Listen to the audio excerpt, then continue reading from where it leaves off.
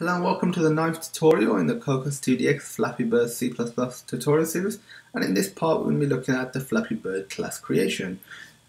We're going to be using the source code from the previous tutorial as we have been doing in that one and in the one before and in the one before so if you don't have it there'll be a link in the description.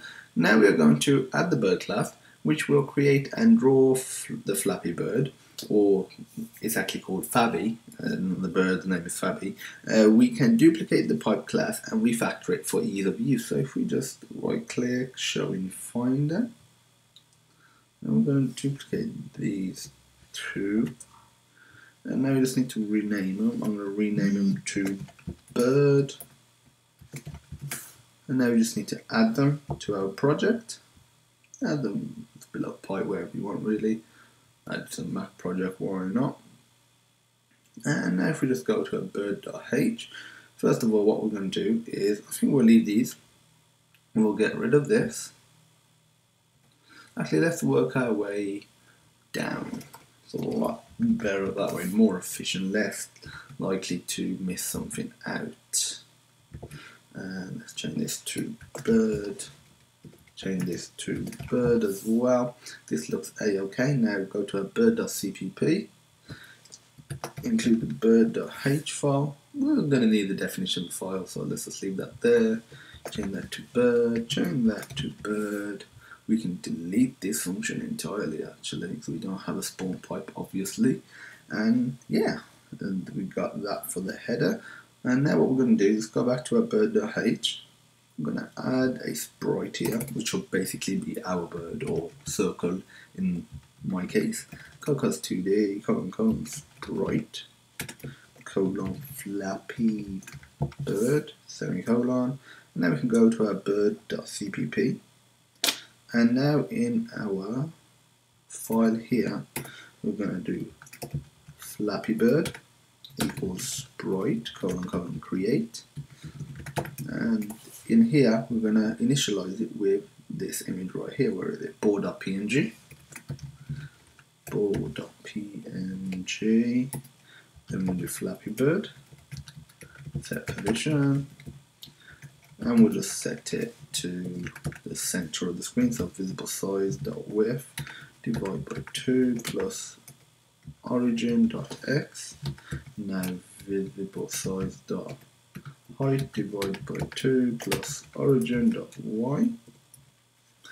And the next thing to do is do auto flappy body. We're going to create the physics body for our bird equals physics body colon colon create circle. We're going to use a circle because our because we're using a ball, so it is a circle. If you're using a small rectangular like you can use just the create box or if you use something a bit more custom maybe like Flappy Bird then you could maybe use a circle or just use something like physics editor and create your own custom physics body. So for this we're just going to specify the radius which is Flappy Bird. Get content size dot width divided by 2 now we're going to do Flappy Bird set physics body and we're just going to set the body that we've created right here. Uh, I will just copy and paste it. Now I've got it selected. And now, oh, I forgot to do one thing.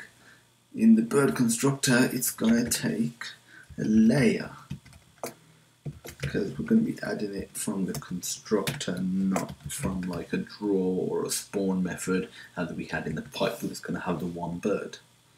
Actually, talking about just one bird, have you played that Flappy Bird clone? There's so many of them, but online where there's you've got one bird, but you can see everybody else's birds as well. And so it's like, a multiplayer game, but you're not really affected by them, or at least not directly, because they do get in your way sometimes, just visually, so you do crash because of that.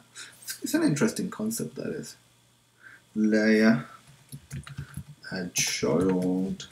Every time I say layer, I think of a Leia from Star Wars, they just sound like that Leia. And we're just going to put 100 so it's on top because we want this on top of everything just to make sure. Now let's create an object of the bird in the game scene header. Plus we will also need to include the bird header so it can be accessed. So if we just go to game scene.h hash include bird.h and now here we're going to do bird bird we'll just call it bird. Lot easier. Forgot uh, we're going to get an error and the reason is we need to create a pointer simply because it doesn't have a default constructor. I'm going to need to initialize it specifically with the other constructor which will be passing in a layer. And if we go to our game scene.cpp and where did we initialize the other pipe oh we forgot we didn't need to initialize it my bad. And now we can just put it here so we'll put bird equals new bird. And for the layer we're just going to pass in this. So now if we run this we'll have a circle okay that's what's going to be our bird in the center of the screen with a physics body and you'll see what happens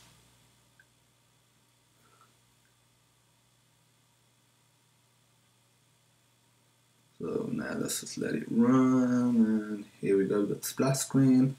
Let's just click play. We got our bird, it falls down and it bounces.